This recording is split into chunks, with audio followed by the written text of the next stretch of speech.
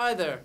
I'm a man about film, and today I'm about Up in the Air, one of the best movies I've seen this entire year.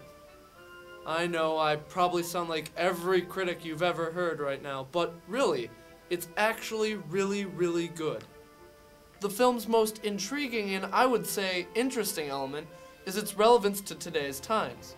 Not only does it speak volumes to the economic woes of our world right now, but it also says several things about our generation's reliance on technology and the resulting disconnection. Outside of all of that, the movie is also very entertaining. The acting as a whole is excellent, especially George Clooney and New Moon's Anna Kendrick. Don't hold it against her. And the story, though not completely fresh, manages to be touching and emotional just like Jason Reitman's previous film, Juno. Reitman's tendencies towards snarkiness and sarcasm don't quite work here as well as they do in some of his other pictures like Thank You for Smoking, but this film still manages to be entertaining and an excellent way to spend two hours.